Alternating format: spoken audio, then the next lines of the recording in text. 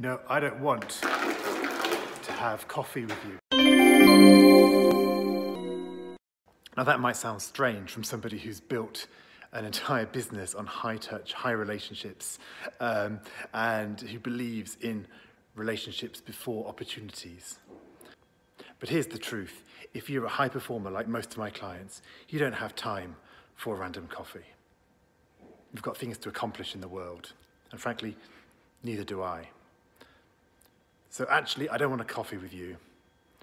Instead, it would probably be better if we went to an abandoned warehouse where there was just one seat, one chair, or perhaps two chairs around a table with perhaps a light bulb hanging down, lights flickering.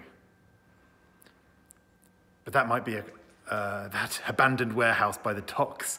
The docks might be an opportunity for high truth, high power, high challenge, transformative conversation.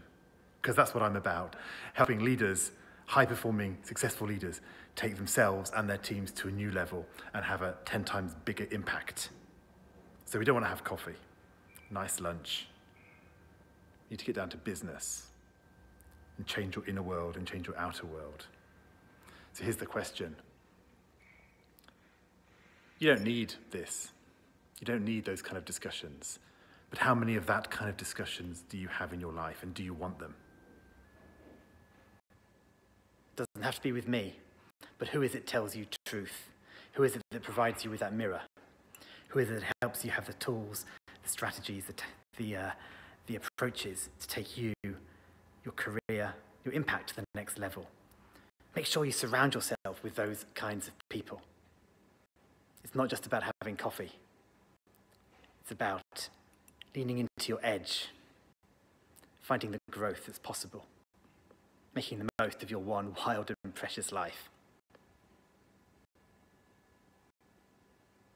So, good news is we don't need to just find an abandoned warehouse. We can actually do it in a coffee shop, or we can do it online.